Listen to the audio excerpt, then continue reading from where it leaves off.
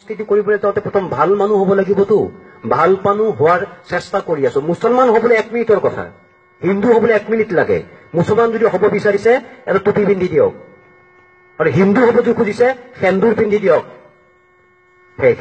কিন্তু প্ৰকৃত মানুহ দেখুৱাকচোন চিন্তাবিদ অনিল ৰায়চৌধুৰী এটা কথা কৈছিল। আমি হিন্দু মুছলমান বুলি চিঞৰি ফুৰিছো খ্ৰীষ্টান বুলি চিঞৰি ফুৰিছো। আমি অমিলত গুৰুত্ব দিছো। তেওঁ গাহৰি খায় এওঁ গৰু খায়। আমি অমিলত গুৰুত্ব দিওঁ কাৰণে আমাৰ কাজিয়া হয়। যদি আমি মিলত গুৰুত্ব দিওঁ তেতিয়া তেওঁ নাটক কৰে মই নাটক কৰো। তেওঁ গান গায় মই গান গাওঁ তেতিয়া অসমখন অসম হৈ থাকিব। সেইবোৰ কথাত আমি মাত মাতিবৰ হ'ল। মই আৰু এবাৰ কৈছো যে আমি মনে মনে আছো মানে আপোনালোকে নাভাবিব যে আমি শুই আছো। আমিও এদিন চিনিয়ৰ হ'ম। আমিও এদিন চিনিয়ৰ হ'ম। সেই দিনটোলৈকে অপেক্ষা কৰি আছো। আৰু নাটক হৈ থকা নাই। নাটক এতিয়া পৃথিৱী বিখ্যাত হৈ গ'ল। শংকৰদেৱৰ জন্ম হ'ল মহাপুৰুষ শ্ৰীমন্ত শংকৰদেৱৰ জন্ম হ'ল শ্বেক্সপিয়াৰৰ আগত। কিন্তু শ্বেক্সপিয়াৰ পৃথিৱী বিখ্যাত হৈ থাকিল।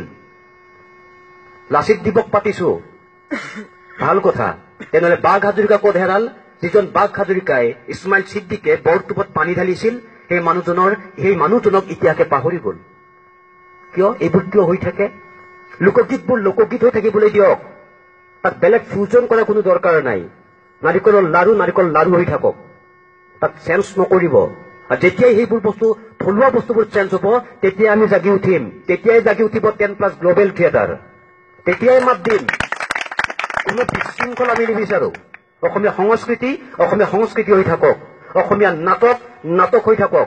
অসমীয়া অংকীয়া ভাওনা অংকীয়া অংকীয়া ভাওনা হৈ থাকক। আৰু মানুহবোৰ মানুহ হৈ থাকক। ৰঙা ৰং হেনো বিপদৰ প্ৰতীক। ৰঙা ৰং হেনো বিপদৰ প্ৰতীক।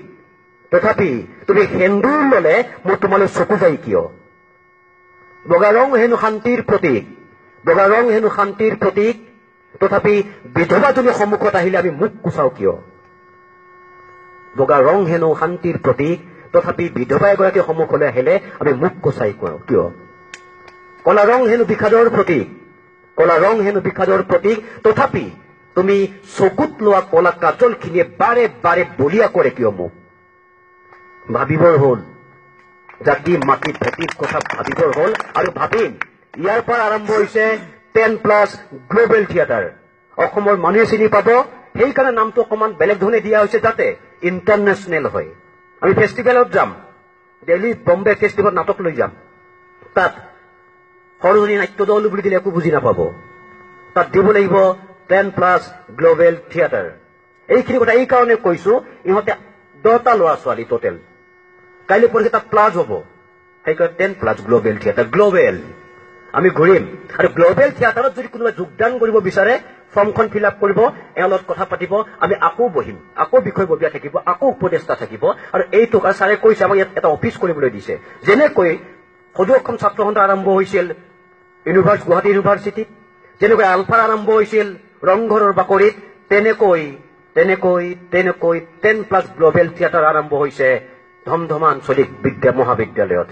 ইয়াত আমি খুটি পুতিম ইয়াত অসমত বিভিন্ন শিল্পী সাহিত্যিক আহিব ইয়াত কবিতা অনুষ্ঠান হ'ব গীত মাতৰ অনুষ্ঠান হ'ব একাংকিকা নাটক কম্পিটিশ্যন হ'ব মনো এক্টিং হ'ব এম এছ আৰ নাটক হ'ব ফুল পেজ ড্ৰামাৰ ফেষ্টিভেল ইয়াত পাতিম। প্ৰত্যেকৰে সহায় সহযোগৰ প্ৰয়োজন। তাৰ সৈতে আজি আমাৰ আৰ্থিকভাৱে বহু সহায় কৰিছে।